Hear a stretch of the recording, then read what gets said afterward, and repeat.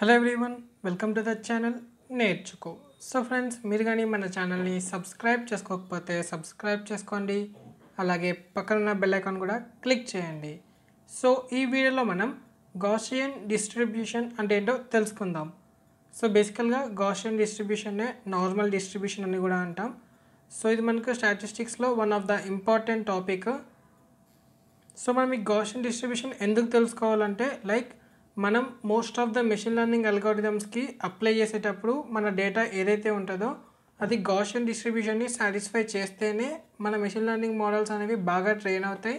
At the same time predictions కూడా బాగా వస్తాయి. అంటే పర్ఫార్మెన్స్ బాగుంటుంది యాక్యురసీ బాగుంటుంది మోడల్ది సో ఒకవేళ ఆ డేటా అనేది గాషన్ డిస్ట్రిబ్యూషన్ని ఫాలో అవ్వకపోతే most of the machine learning algorithms అన్నీ కూడా ఫెయిల్ అయిపోతాయి. సో మనం ఫస్ట్ చెక్ చేసుకోవాలి. అది గౌసియన్ డిస్ట్రిబ్యూషన్ని ఫాలో అవుతుందా లేదా అని చెప్పేసి. సో ఇలా చెక్ చేసుకుంటాం. సో ఫస్ట్ మనం కాన్సెప్ట్ అయితే తెలుసుకోవాలి. అసలు గౌసియన్ డిస్ట్రిబ్యూషన్ అంటే ఏంటిది అని చెప్పేసి. సో మన ఛానల్కి ఇన్స్టాగ్రామ్ అకౌంట్ టెలిగ్రామ్ అకౌంట్ కూడా ఉంది. సో ఇన్స్టాగ్రామ్ అకౌంట్ యొక్క యూజర్ నేమ్ వచ్చేసి నేర్చుకో.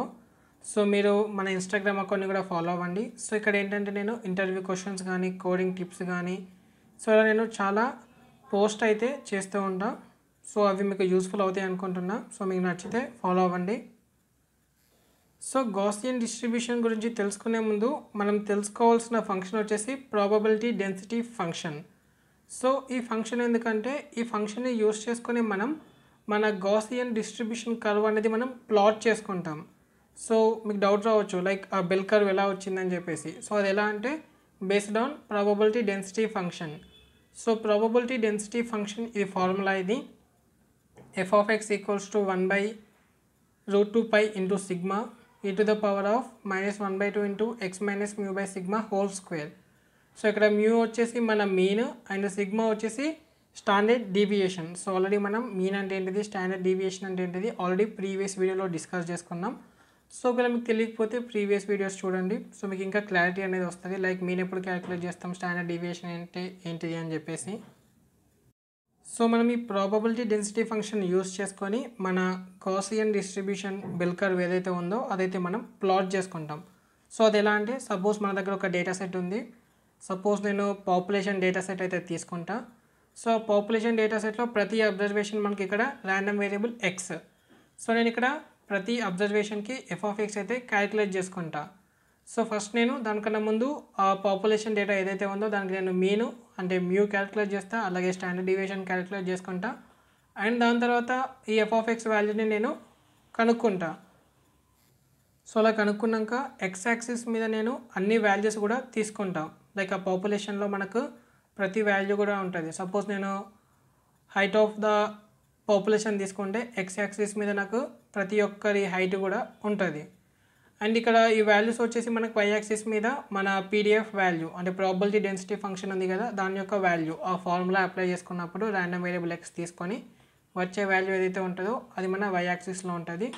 సో ఫైనల్గా మనము ప్లాట్ చేసుకుంటే ఒకవేళ ఆ పాపులేషన్ ఆఫ్ హైట్ డేటా అనేది గౌసియన్ డిస్ట్రిబ్యూషన్ని సాటిస్ఫై చేస్తే ఆఫ్టర్ ప్లాటింగ్ మనకి ఇలా ఒక గ్రాఫ్ అయితే వస్తుంది. సో ఇలా ఒక కర్వ్ అయితే వస్తుంది. సో దీన్ని మనం బెల్ కర్వ్ అని కూడా అంటాం.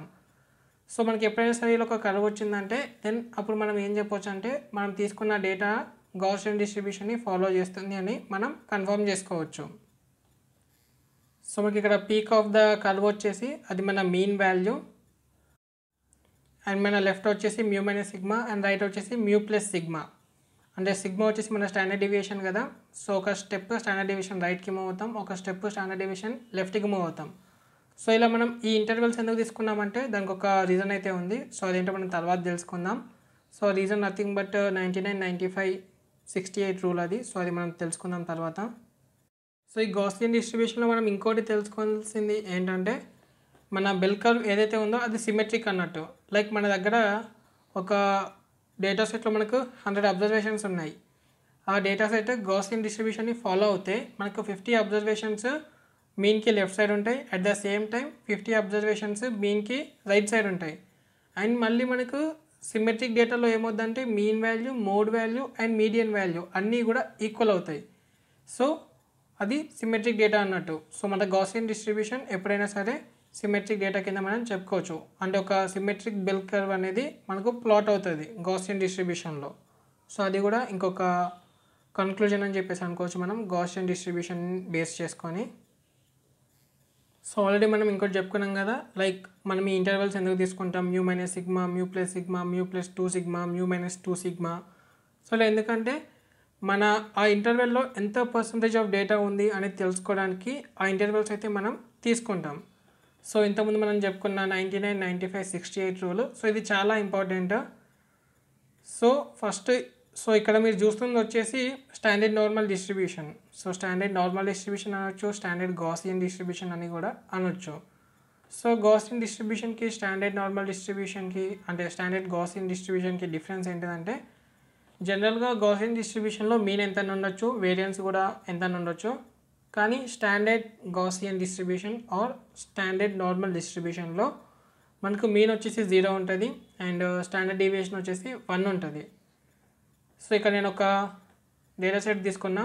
That which follows standard normal distribution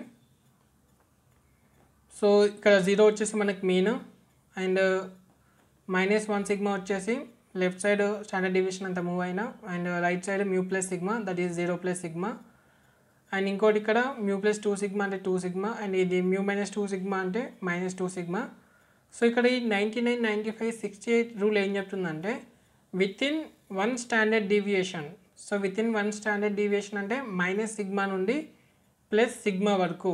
అంటే మ్యూ మైనస్ సిగ్మా నుండి మ్యూ ప్లస్ సిగ్మా వరకు మనకు sixty eight percent of the data ఈ రేంజ్లో మనకు అవైలబుల్ ఉంటుంది. అదే మనకు వితిన్ టూ స్టాండర్డ్ డీవియేషన్స్ అంటే మ్యూ మైనస్ టూ సిగ్మా నుండి మ్యూ ప్లస్ టూ సిగ్మా వరకు మనకు ninety five percent of the total data అనేది మనకు ఈ రేంజ్లో అయితే వస్తుంది. విత్ ఇన్ త్రీ స్టాండర్డ్ డీవియేషన్స్లో అంటే మ్యూ మైనస్ త్రీ సిగ్మా నుండి మ్యూ ప్లస్ త్రీ సిగ్మా లోపు మనకు ninety nine percent of the data అయితే ఉంటుంది ఆ రేంజ్లో.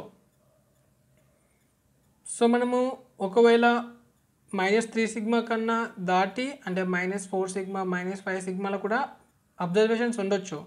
సో అలా ఉంటే వాటిని మనం అవుట్లయర్స్ అని చెప్పేసి అంటాం. సో స్టాండర్డ్ నార్మల్ డిస్ట్రిబ్యూషన్ని బేస్ చేసుకొని మనం అవుట్లయర్స్ని కూడా కనుక్కోవచ్చు. ఎలా అంటే ఏవైతే డేటా పాయింట్స్ అవే ఫ్రమ్ త్రీ స్టాండర్డ్ డీవియేషన్ ఉంటాయో వాటిని మనం అవుట్లైయర్స్ అని చెప్పేసి అంటాం. సో ఇది ఇంకొక కన్క్లూజన్ సో ఇది బేసికల్గా గాసియన్ డిస్ట్రిబ్యూషన్ గురించి. సో దీనికి రియల్ లైఫ్ అప్లికేషన్స్ చాలా ఉంటాయి. సో వికీపీడియాలో కూడా మీరు చెక్ చేసుకోవచ్చు. సో మీకు కానీ వీడియో నచ్చినట్టయితే లైక్ చేయండి షేర్ చేయండి. అలాగే మన ఛానల్ని మీరు సబ్స్క్రైబ్ చేసుకోకపోతే సబ్స్క్రైబ్ చేసుకోండి. Thank you for watching keep learning